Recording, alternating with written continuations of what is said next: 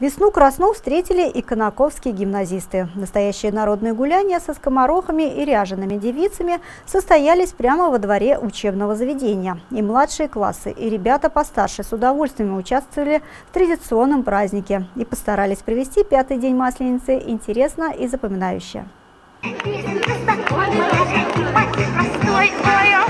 Не нравишься,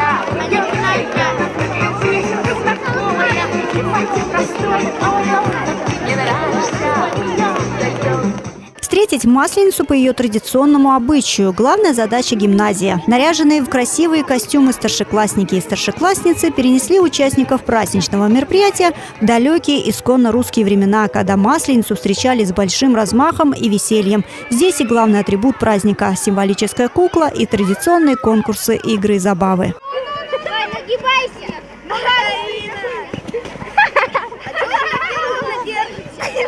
Десятки школьников младших и старших классов пели песни, водили хороводы, дурачились и веселились. В общем, завлекали весну, чтобы Масленица пришла к нам солнечной и теплой. Мальчишки и девчонки под руководством юных организаторов праздника с удовольствием выполняли шуточные задания и участвовали в шарадах и игровых конкурсах, которые подготовили старшеклассники. Всегда в обязательном порядке мне, мне помогают мои старшие классы. Вот без них никуда.